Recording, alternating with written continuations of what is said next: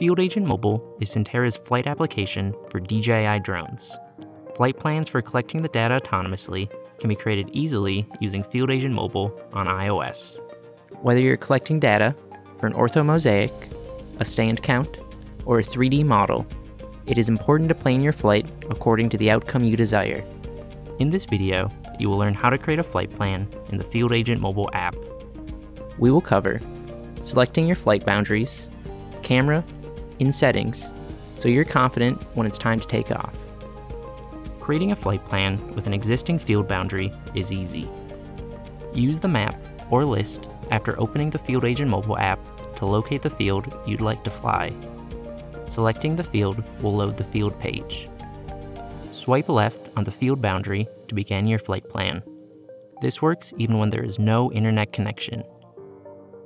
Select the flight segment and then cameras.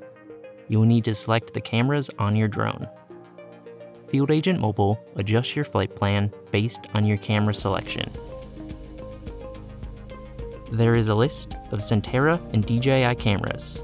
Select both if you have two. Click Done. Older Sentera cameras will ask you to manually verify overlap settings. You will only need to do this if you want an overlap greater than 75%. Newer Sentera cameras include Bluetooth and will update the overlap settings during flight plan upload.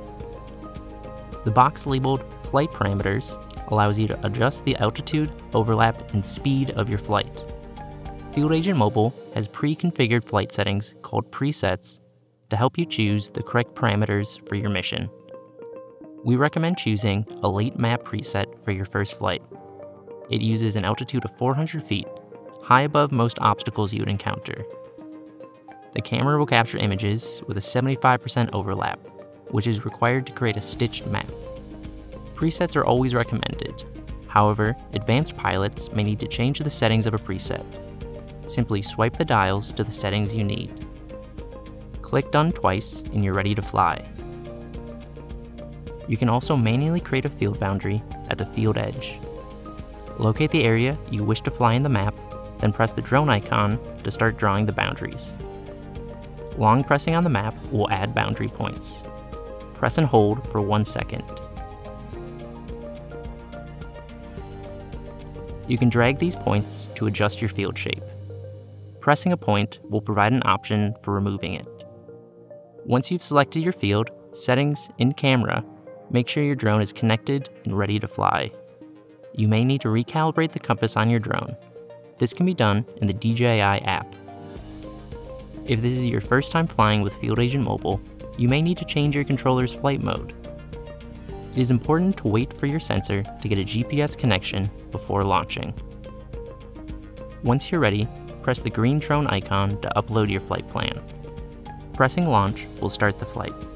You need to keep the Field Agent mobile app open during the entire flight. If you do not, your images may not capture. Look for more videos as we continue to add features. Follow us on YouTube and social media to stay up to date.